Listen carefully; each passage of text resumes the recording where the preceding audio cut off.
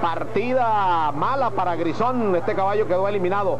Viene Benemérito con Yankee por la parte central. Ataca Node One para el tercero. Jaguares para el cuarto. Quinto Miura, sector rojo. Luego Boyardo. Después corre Black Bull. Don Manolo. Más atrás lo hace Hawái con el caballo grecorromano. Quedó último el caballo sultánico. Pues Grisón no vale para nada.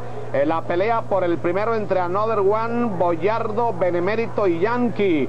En 22, dos quintos. Los primeros 400 metros. Sigue la lucha por el primer puesto. Boyardo por fuera. Another One en el segundo, tercero Benemérito, cuarto corre Yankee, en el quinto Black Bull, en el sexto puesto corre el caballo Jaguar, luego Miura, después Rojo, cuando vienen ya la última curva, Boyardo está crecido en la punta, pero Black Bull corre mucho por la parte exterior de la cancha y también por dentro Another One cuando entran ya en la recta, igualmente Benemérito insiste en la lucha por el centro de la pista, Benemérito contra Boyardo, domina Boyardo a Benemérito, insiste Black Bull para el tercero, Miura para el cuarto lugar, viene para el quinto Another One, Boyardo domina, pero Benemérito por fuera viene a comprometerlo. Vuela en los finales Black Bull y también Don Manolo por dentro. Benemérito pasando y Don Manolo por dentro. Pasó Don Manolo.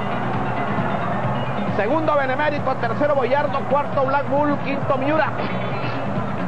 Último puesto para los ejemplares Yankee, Hawái, Grecorromano y Rojo.